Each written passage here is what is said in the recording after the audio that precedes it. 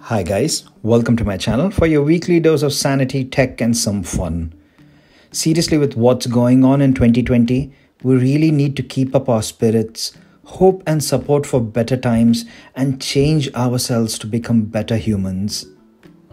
So, here's me trying to keep you guys entertained during these grim times. In today's video, let's do something different. Let's look at my work at home desk setup. Seems like everyone on the internet loves to look at cool desk setups of others. I have to admit, I am amongst those millions who love this too. There's really some excitement towards seeing those cool tech setups of others, so I'm following the trend and doing the same. But just a foreknote, my setup is not crazy, insane, expensive as some other YouTubers. It is budget friendly yet functional.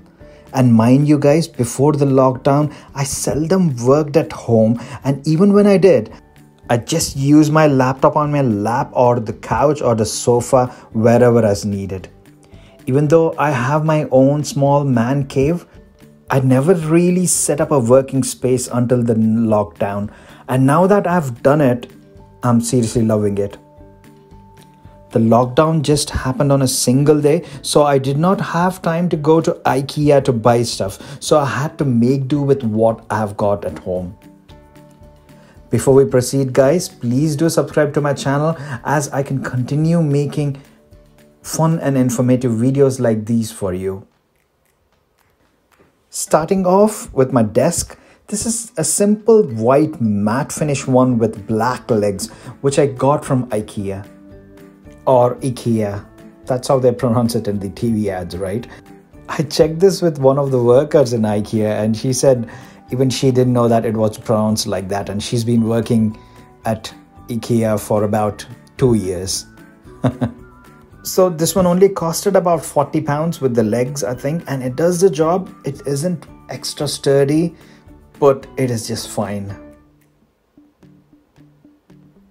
Next is the chair. This is an interesting one. I bought this from Amazon. See, I wanted a chair which supports my neck as well as providing lumbar support, and this one had really good reviews. Once I got it, I found out that it's really good, but it didn't provide that max neck support which I wanted. Luckily, I had these extra neck support pillows which I use for my car and so I just strapped one to the headrest and voila, now it's perfect. The cushiony base is nice, soft, and comfy, and you can raise and lower the arms as well. Besides that, I have a side table which I initially bought for an aquarium, but that's long gone now. And then we used it as a stand for my second TV, and I finally use it to support my printer here. That's the furniture bit done. Now let's talk about tech. First, it is the iPad Air 3, my current iPad of choice, and I use it almost daily. Even whilst I'm working, I let TV shows or a movie or YouTube running in the background. And I made several YouTube videos about the iPad Air 3. I've linked that playlist down below if you wish to check it out. The main focus and the guts of my setup comes from this Dell Inspiron 13-inch 2-in-1 laptop with 8th gen Core i7 processor and 16 gigs of RAM. We bought it when the 8th gen was in its midlife period, so it's about 2 years old. As I mentioned, this is a 2-in-1 and it does become a tablet as well and has a touchscreen, but I rarely use the touchscreen. And no matter what, Windows for me is always a mouse pointer and touchpad based device. My laptop is also hooked to this AOC Full HD monitor via HDMI. I use the screen extender feature in Windows for this, so this becomes my second monitor and I get more working space. Then coming to my accessories for my PC, first is the keyboard and mouse setup. I use a simple Logitech wireless keyboard mouse setup. It's not super fancy, but it does the job. The keyboard provides nice tactile feedback and has got shortcuts for all the apps which I use the most. Mouse is smooth and precise, and I use this RealMax mouse pad which I got from Amazon as it gives this wrist support as well. Then I have a portable hard drive. I use this 512 gigabytes old USB portable drive which I got it and it is a special edition of Michael Jackson's This Is It. It comes with the MJ's movie preloaded on it and I bought it as a souvenir as soon as our beloved pop star was no longer with us.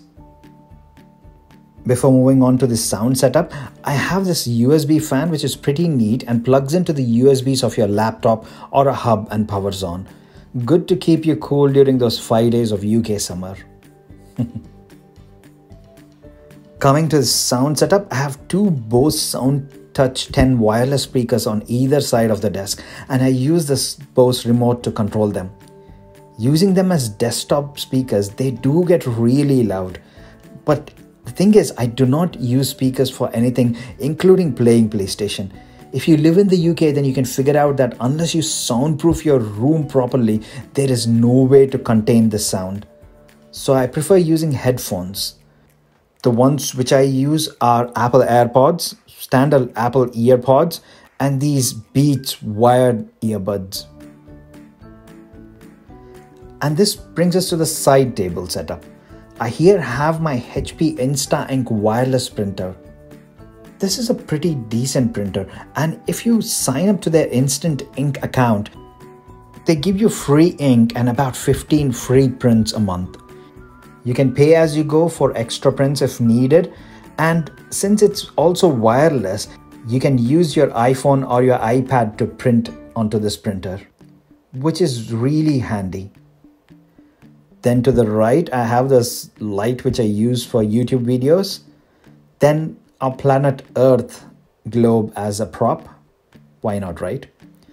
Below that, I have this cute BB8 table light which makes the original BB8 sound whenever you turn it on. Next on the top of it is my PlayStation 4. This is the original first gen one which came out along with the Uncharted 4 Thief's End game, and I bought it back then. I initially thought of hooking this up to its own TV, but my AOC monitor supports full HD and has got decent refresh rate. So I got this HDMI switch from Amazon and it connects my laptop and PlayStation to the monitor. It is a neat solution and with a simple flick of a button, it turns my work setup into gaming mode and off I go on an adventure. I really love this simple setup because as soon as work is done, it conveniently makes the monitor ready for gaming without much effort. The cabinet also has got a shelf and let's see what's in it. I've got a few PlayStation games, Tomb Raider, Red Dead Redemption 2, Detroit Become Human, etc., etc., and a DVD player as well. Yeah, proper old school one. I mean, I do have lots of DVDs, so I just kept hold of this one. And you know, this also plays VCDs, video CDs. Do you remember those guys? So it's just there. I haven't used it off late, but yeah, it's there to play those old school DVDs and video CDs. Then below I've got a few Apple product boxes, of course, a couple of old iPads, and this is my folder containing my audio CD collection. Final two props on my desk. I have this simple stand for my iPhone and this snow globe from the place where I studied. These props keep changing on my mood or the movie which I'm watching or the game which I'm playing. Finally, coming to my cable management, I haven't got any special mounts or holders, so I just had to improvise. I know this is not the neatest solution, but at least it keeps the mess hidden. Sort of. I took this huge crate Uncharted box and emptied its contents, made two pass through holes on either sides, and put all the cables, adapters, and power bricks in here. It does the job and keeps all the mess out of sight then I used few cable ties to bunch up cables together. I know it still doesn't look elegant or out of the way, and I'm planning to do something about it. I will have to just go online shopping and see what's available. Then from the cables, I have got a USB power hub here, which got various charging cables and yes the fan is currently running from it but there you go that's my cable management solution so that's it for this video guys. Hope you liked it. I will leave a link down below to the products which i used in this video.